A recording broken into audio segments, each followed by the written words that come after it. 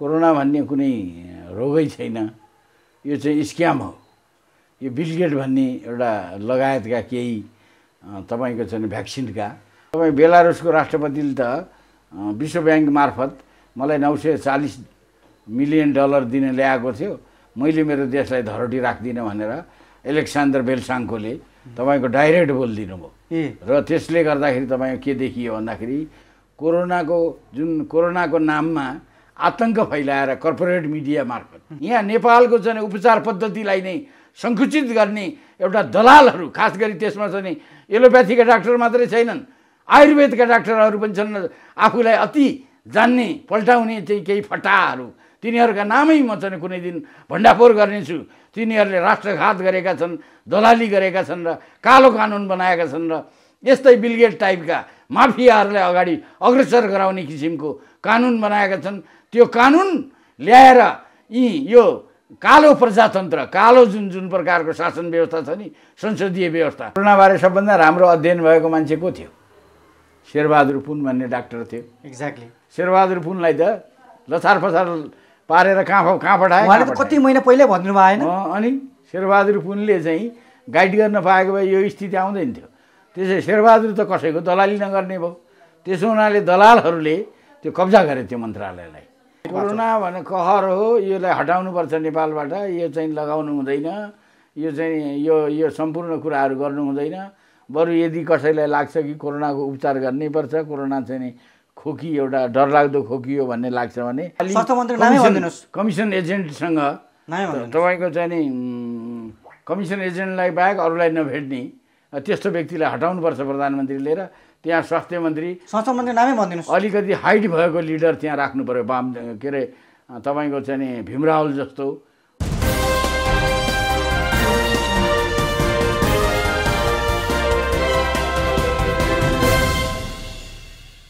नमस्कार आदरणीय दर्शकबिन। हामी तपाईँहरू समक्ष फेरि पनि आइसकेका छौँ।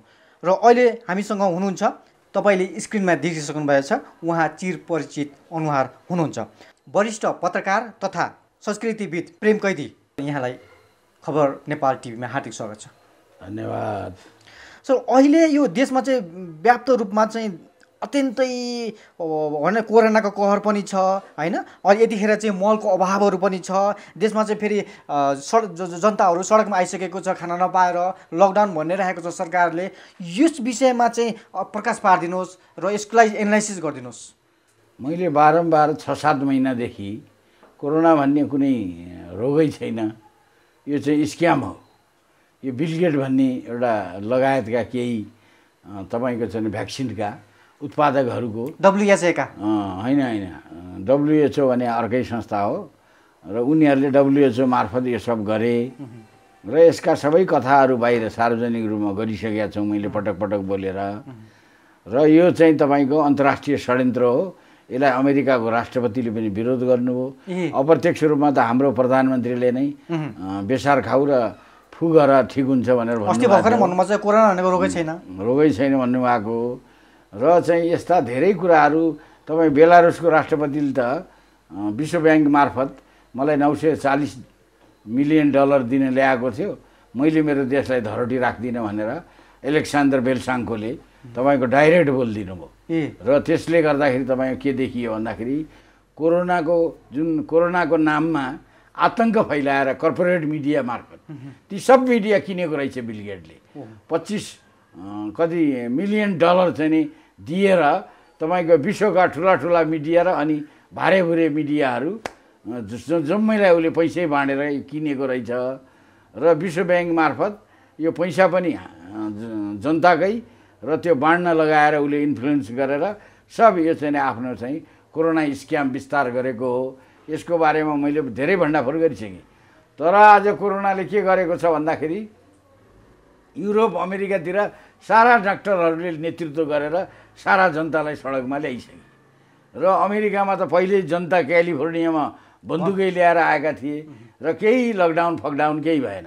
अमेरि अब उसमा हेर्नुहोस् त अब त्यो चाइनामा जहाँ सबभन्दा पहिले वुहानमा भएको थियो त्यहाँ चिनियाका राष्ट्रपति सी जिङपिङ आफै मार्च गर्नुभयो सडकमा एक डेढ हप्तापछि र त्यसैले गर्दाखेरि त्यहाँ केही न केही कोरोना सोरोना केही न कोरोना सरुवा छ न केही देखियो।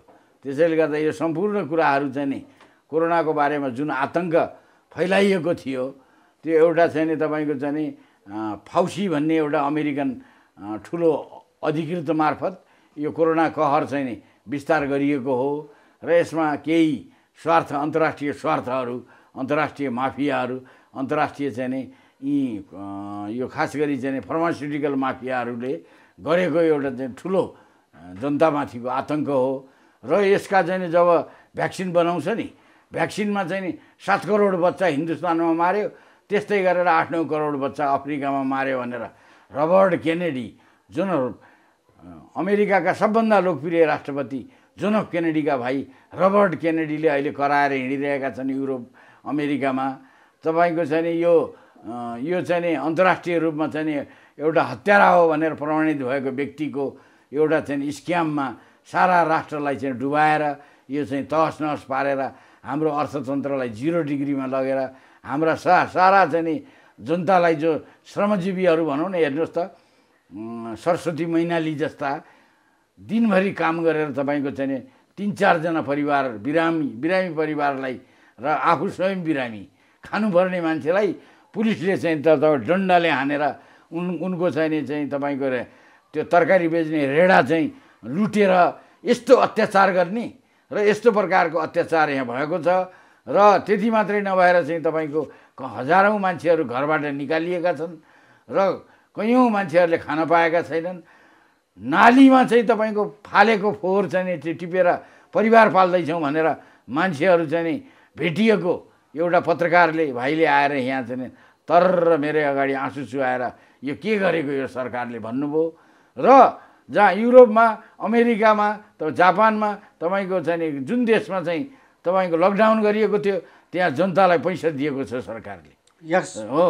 तर यहाँ पैसा पनि आफू सबै हुँडेल्ने र त्यो चाहिँ नि तपाईँको उम्नी मार्फत थोत्रा सामानहरू ल्याउने र चाहिँ नि चाइनिजहरूले चाहिँ नि प्रि क्वालि क्वालिफाई नगरेको कम्पनीबाट सामान ल्याउने र त्यति मात्रै नभएर त्यस्ता त्यो सेनालाई समेत त्यही सामान बोकाएर हवाईजहाजको भाडा चाहिँ सेनालाई तिर्न लगाएपछि कमान्डर इन चिफ र रक्षा मन्त्रीको मारामार परेको पनि तपाईँले देखिसक्नुभयो होला।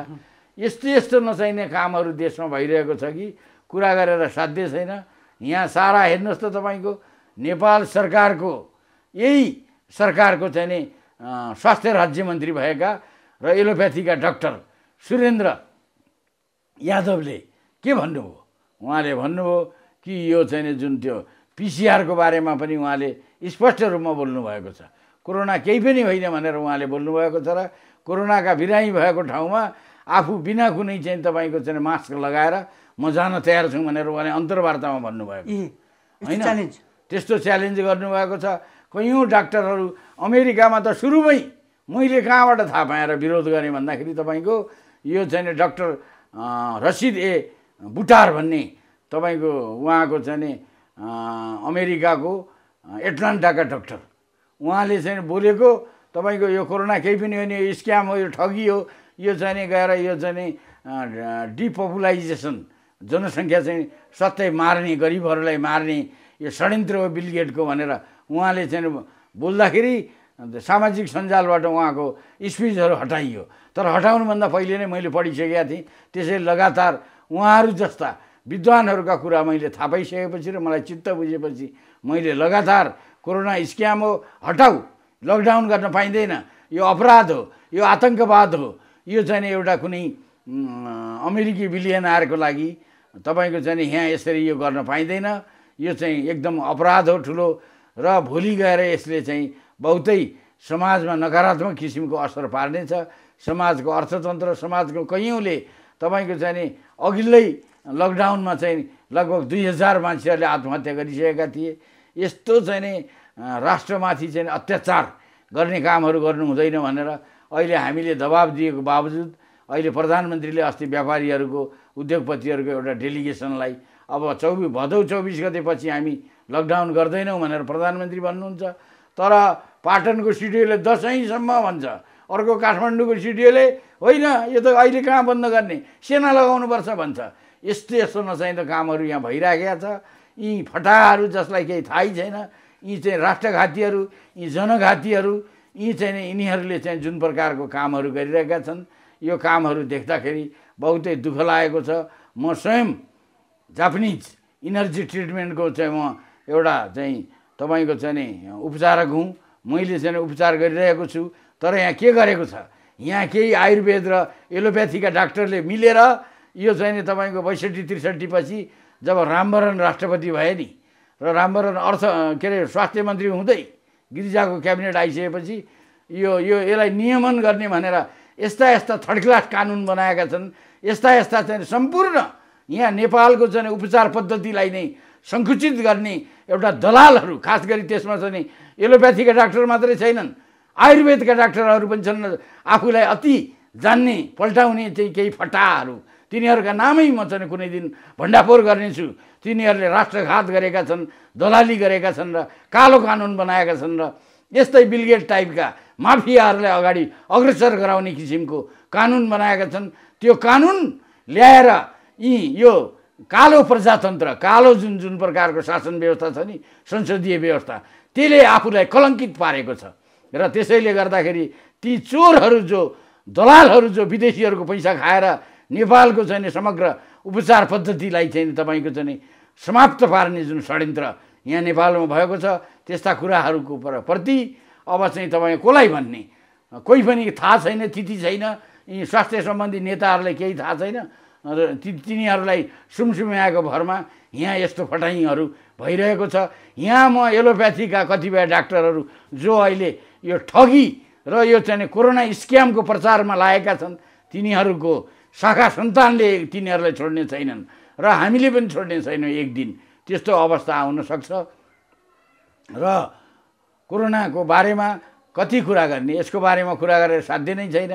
तपाईँको ठुला ठुला अन्तर्राष्ट्रिय विद्वानहरूले अहिले चाहिँ तपाईँको चाहिँ ठु विश्वका ठुला ठुला एउटा चाहिँ जान्ने राष्ट्रपतिहरू तपाईँको मेडागास्करको राष्ट्रपति तपाईँको चाहिँ नाइजेरियाको राष्ट्रपति तिनीहरू खुलेर आए र कतिपय पैँतालिसवटा देशमा अहिले चाहिँ नि खबरदार यहाँबाट गइहाल भनेर चाहिँ नि विश्व स्वास्थ्य सङ्गठन भन्ने जुन बिलगेटको पैसा खाएर दलाली गर्ने संस्थाको विरुद्ध कैयौँ देशमा उसका कर्मचारीलाई खेदाइयो र अहिले युरोपमा तपाईँको उनीहरूको चाहिँ डाइरेक्टरले यो चाहिँ नि डिस डिस्टेन्स मेन्टेन गर्नु पर्दैन यो चाहिँ नाकमा मास्क लगाउनु पर्दैन यो चाहिँ नि यो अर्को झोलले हात धुने कुरो पनि बेकारको कुरा हो भनेर अहिले स्वयं विश्व स्वास्थ्य सङ्गठनको मान्छेले बोल्न थालेको छ।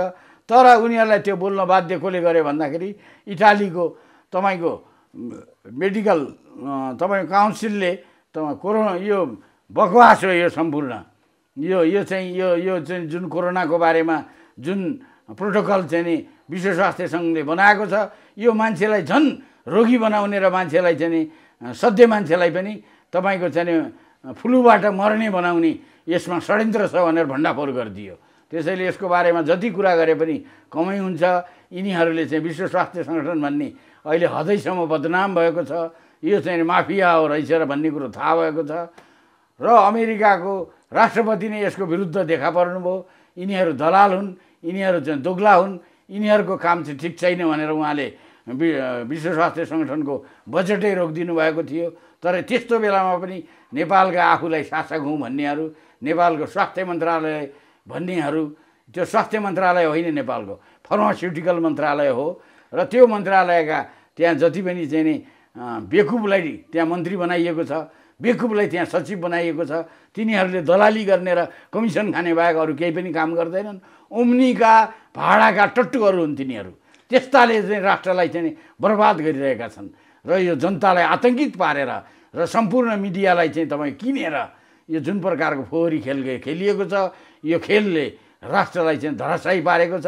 केही व्यक्तिहरू चाहिँ ढाडिएका छन् किर्ना जस्ता भएका छन्। तर त्यसको परिणाम उनीहरूले भविष्यमा उनीहरूकै सन्तानले जब घृणा गर्नेछन् राष्ट्रघाती तत्त्व हो मेरो बाबु भनेर भन्नेछन् त्यति बेला उनीहरूले थाहा पाउनेछन् प्रेम सर तपाईँले अहिले यसरी भनिराख्नु भएको छ तपाईँले यस्तो कुरा गरिराख्नु भएको छ अहिले सुभाष लिम्बू सुब्बालाई चाहिँ समातेर कुचेको छ भने? सुभाष लिम्बू सुब्बाले एउटा गल्ती गर्नुभयो उहाँले। उहाँले के गर्नुभयो भने एउटा सरकारले छानबिन नगरेको सरकारसँग छानबिनको यदि कुनै त्यस्तो विषय आएको छ भने सरकारलाई छानबिन गर भन्नुपर्छ। उहाँले के भन्नुभयो भन्दाखेरि हस्पिटलमा जो मान्छे लगिन्छ ती मान्छेको चाहिँ कोरोना भयो भनिदिने अनि उनीहरूको अङ्ग बेच्ने। अनि बेचेर अनि चाहिँ प्लास्टिकमा पोको पारेर लास चाहिँ फालिदिने। र यसरी चाहिँ यो नचाहिँदो काम गरियो भनेर उहाँले ठाडै आरोप लगाउनु हो जबकि यो आरोप कतै पनि यो कुरा पुष्टि भएको छैन। र यो कुरा आयो कतैबाट आएपछि त्यसमा सरकारले छानबिन गर्नु पर्यो अथोरिटीले बोल्नु पर्यो कुनै अथोरिटीले नबोलेको कुरा चाहिँ गरेपछि त त्यो त अलिकति चाहिँ तपाईँको त्यसमा त प्रशासनले चाहिँ एक्सन लिएको। एक्सन लिन त बाध्य हुनुपर्छ नि। र उहाँले यो कुरा विचार गर्नु पर्थ्यो बोल्दाखेरि मैले कोरोना स्क्याम हो भनेर प्रेम कैदीले बोलिरहेको छैन। कसले बोलिएको छ त? अमेरिकाको डक्टर रसिदे बुटारले बोलेको छ। तपाईँले रिप्रेस दिन सक्नुभयो। रेफरेन्स छ नि। मैले आफूले बोलिरहेको छु र म मेडिकल साइन्सको मान्छे होइन भने मैले कसरी चाहिँ ती कुराहरू गर्ने?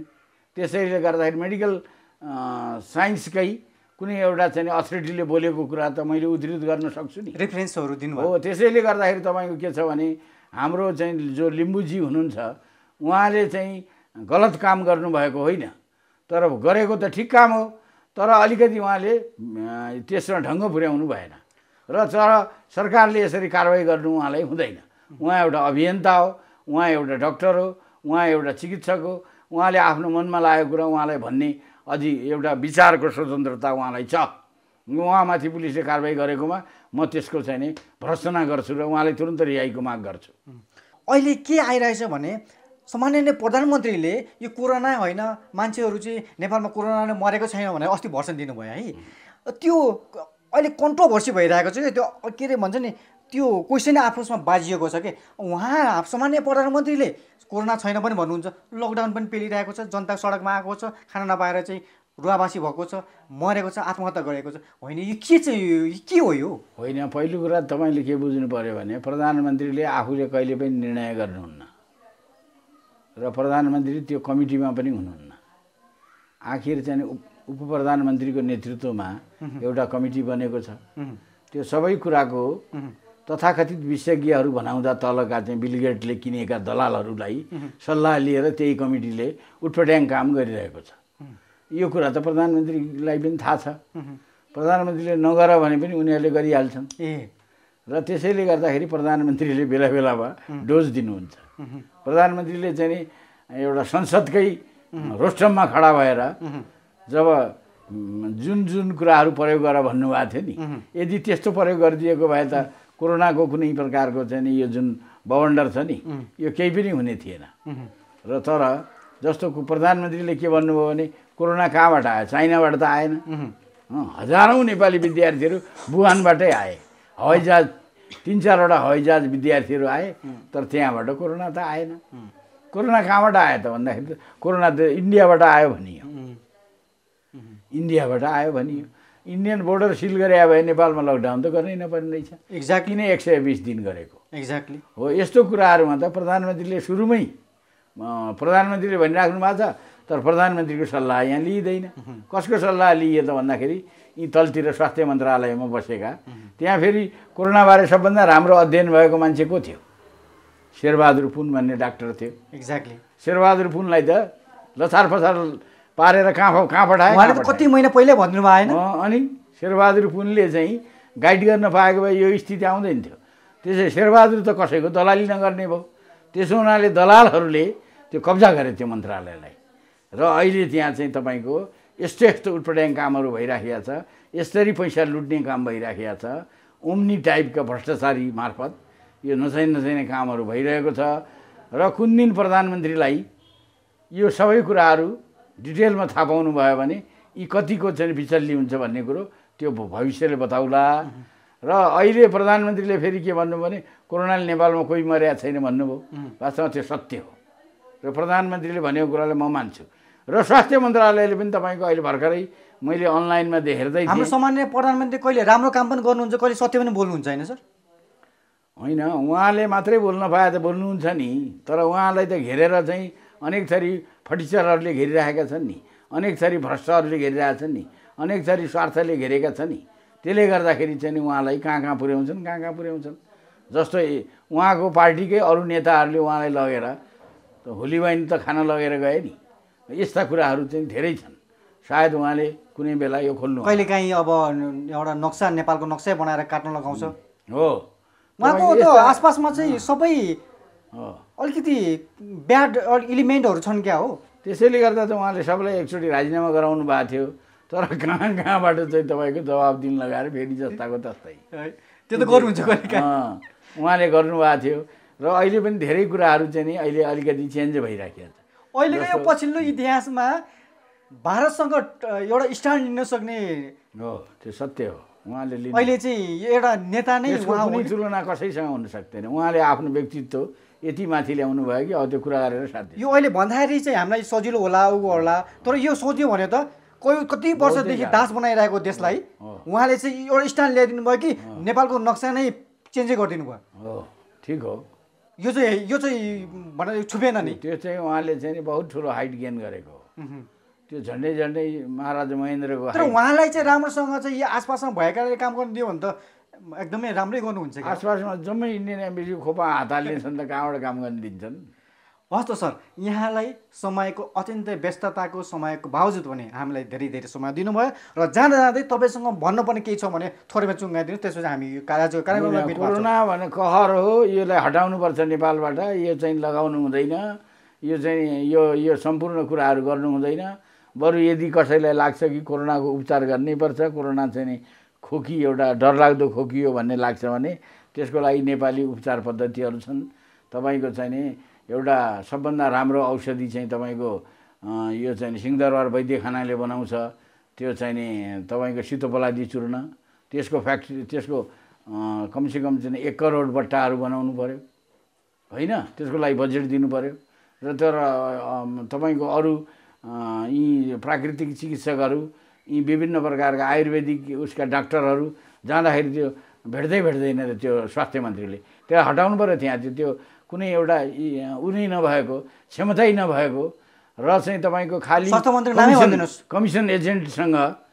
तपाईँको चाहिँ नि कमिसन एजेन्टलाई बाहेक अरूलाई नभेट्ने त्यस्तो व्यक्तिलाई हटाउनुपर्छ प्रधानमन्त्रीले र त्यहाँ स्वास्थ्य मन्त्री संसद मन्त्री नामै भनिदिनुहोस्। अलिकति हाइट भएको लिडर त्यहाँ राख्नु पऱ्यो वाम के अरे तपाईँको चाहिँ नि भीमरावल जस्तो अथवा चाहिँ तपाईँको चाहिँ नि अरू पनि पार्टीमा एक सय एक नेता छन् नि होइन? अर्थशास्त्रीहरू एक सय एक छन् त्यो पार्टीभित्र। भीमला भीम रावल पनि लायक हुनुहुन्छ।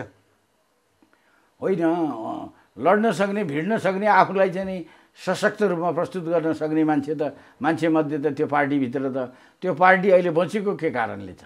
भीमराव जस्ता मान्छेहरू बोल्न सक्ने तपाईँको आफ्नो व्यक्तित्व भएका मान्छेहरूका कारण न पार्टी पार्टी हुन्छ।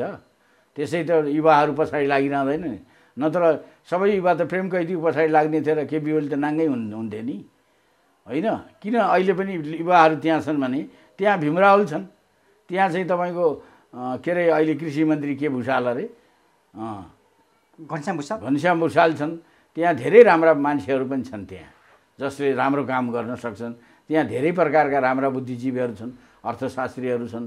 हो तिनीहरूलाई अवसर दिनु पऱ्यो खालि एउटा चाहिँ तपाईँको चाहिँ नि अलिकति राजनीतिक राजनीति बुझ्दै नबुझेको खास गरी समाजवादी राजनीतिको बारेमा केही पनि जिरो लेभलको ज्ञान भएको मान्छे चाहिँ युवराज अँ, सङ्ग्रौलालाई उहाँले धेरै के अरे खतिवडालाई धेरै ठुलो मौका दिनुभयो तर त्यो फेलियर भयो। त्यस्तो मान्छे हुँदैन। राजनीतिक इच्छा शक्ति भएको केही राष्ट्रको लागि गर्छु भन्ने मान्छेलाई अगाडि ल्याउनुपर्छ। स्वास्थ्य मन्त्रीमा पनि त्यस्तो प्रकारको मान्छे ल्याउनुपर्छ। नत्र होइन भने यो यस्ता चाहिँ नक्कली कहरहरूले देशलाई खाइदिन्छ। हस् त सर यहाँलाई धेरै धेरै धन्यवाद। जय गोरख।